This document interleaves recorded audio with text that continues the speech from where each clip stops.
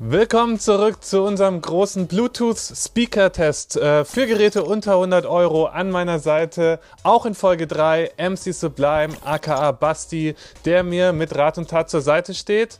Los geht's!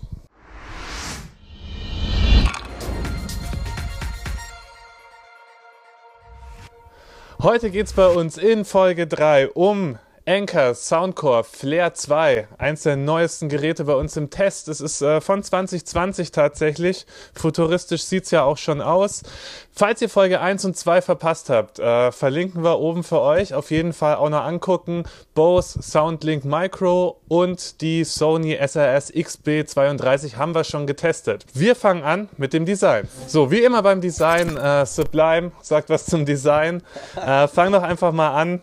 Äh, die Soundcore. Das erste, was natürlich auffällt, der zweite Blinker im Test. 2020 bleibt sich treu. Es wird geleuchtet. Ist auch hier wieder Geschmackssache. Was natürlich aber auch ähm, sehr, sehr stark auffällt, ist die Ähnlichkeit zu.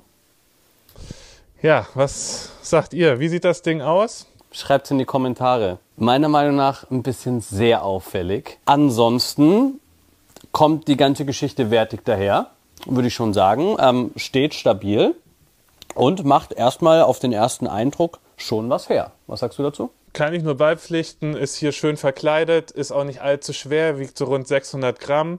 Äh, kann man erstmal so nichts dran aussetzen. Aber gut, ja, ich würde sagen, wir checken mal, was das Ding im Sound kann.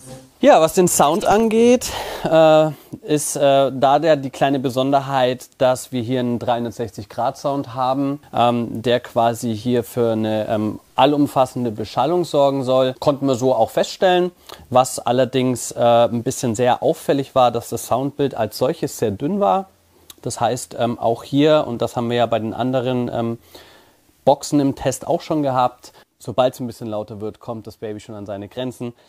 Äh, wir haben eine äh, Bassfunktion, die ist auch tatsächlich notwendig, muss ich jetzt auch vorab greifen, weil ohne die Bassfunktion der Bass leider halt dann auch nicht wirklich vorhanden. Aber an sich vom Sound her schon eine der besseren. Ja, Basti hat recht. Eigentlich die Bassfunktion natürlich erst was für unsere Extras, die dann noch kommen. In dem Fall ähm, kann man das Gerät aber ohne Bassfunktion ja kaum benutzen, außer man mag es. Also, ich weiß nicht, absolut ohne jeglichen Bassklang. Aber das kann ich mir leider nicht vorstellen. Absolut richtig. Und man muss halt einfach mal davon ausgehen, dass wir aktuell natürlich in der Musikwelt sehr, sehr basslastige ähm, Sounds haben und ähm, auch sehr, sehr viel eben mit Equalizern gearbeitet wird und sehr viel mit Clubbeats und solche Geschichten. Und da muss man das immer wieder mit berücksichtigen. Wir kommen weiter zum nächsten Punkt, der Akkuleistung. Ja, da ist die äh, Soundcore Flair 2 jetzt kein Ausreißer in irgendeine Richtung, wird mit 12 Stunden angegeben. Ja, hält auch ungefähr so in dem Bereich äh, um die 12 Stunden, wie immer, je nach Lautstärke. Lautstärke. Solide, reicht aus. Ich finde, jeder kann nach zwölf Stunden das Ding auch mal laden. Die meisten Partys, die länger gehen, werden nicht mit solchen Dingern hier Bescheid. Äh, ansonsten, ja, kommen wir dann mal zu den Extras. Ja, die Extras, da sage ich mal so, da ist ein ganzes Potpourri an, äh, an Extras. Unlimited 360 Grad Sound. Der ist auf jeden Fall 360. Natürlich ist er auch Unlimited. Da ist natürlich wieder so ein Werbewörtchen. Unlimited 360 Grad. Klar, man ist einmal rum, aber Unlimited. Okay, nettes Wort. Bus Up Technology. Wir nennen es jetzt einfach mal Standard Bass. Also ich finde nicht, dass man das überhaupt hätte an- oder ausschalten müssen. Es hätte eigentlich standardmäßig drin sein sollen. Dual Beat Driven Light Rings. Brauchen wir nicht drüber diskutieren. Das ist natürlich äh, absoluter Knaller wieder. Ähm, 2020, wir haben es gesagt, LED-Zeitalter. Ja. Was haben wir noch? Ähm, Link 100 Plus Speakers. Kennen wir schon vom anderen Blinker im Test von der Sony. Scheinbar auch ein äh, absolutes Charakteristika eines Blinkers. 100 Stück damit zu verbinden. Auch hier viel Spaß äh, im Freundeskreis, äh, wenn sich jeder das Gerät holt das ist dann wirklich, ich, ich, weiß nicht, wie viel Grad, mehr als 360 Grad, 100 Stück dann machen, ja, wird auch eher die Ausnahme sein. Fully waterproof. Das ist immer ganz nett tatsächlich, dass die Dinger eben ins Wasser fallen können.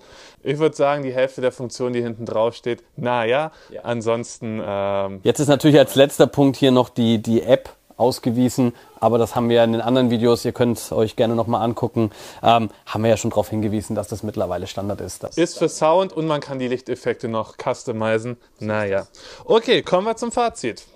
Ja, die äh, Soundcore Flair 2 ist auf jeden Fall auch eine äh, stabile Box, äh, liefert soliden Sound. Die 360-Grad-Funktion ist tatsächlich auch ganz nett, um es in die Mitte zu stellen. Das muss man bei den anderen schon bedenken, dass die echt nur in, viele nur in eine Richtung strahlen, die eben nicht hier diesen, diese Ummantelung haben. Ich würde die Box jetzt auch äh, nicht für die große Party empfehlen auch nicht, wenn man zwei davon hat.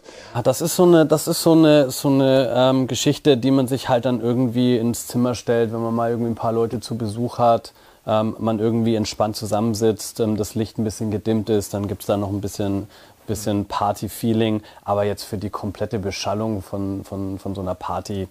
Kleingruppen. Ich würde sagen, kleine Gruppen, äh, Hintergrundmusik auch kannst du genauso gut auch draußen äh, verwenden, wenn du dich draußen triffst mit Leuten. Gute Lautstärke, so dass man sich noch unterhalten kann. So, das war es auch schon mit Folge 3 unseres großen Bluetooth-Lautsprechertests mit Geräten bis 100 Euro. Nächste Folge haben wir für euch ein ganz bekanntes Gerät. Die Boom 3 von Ultimate Ears. Ob die wirklich Boom macht, äh, werdet ihr erfahren. Die Folge haben wir euch oben auf jeden Fall schon verlinkt. Ihr könnt direkt reinklicken in unsere Folge 4, die Boom 3. Und natürlich Falls ihr die äh, Folgen davor 1 und 2 verpasst habt, die Bose Box und auch die Sony Box könnt ihr auch noch angucken. Alles in unserer Playlist. Wir sehen uns beim nächsten Mal.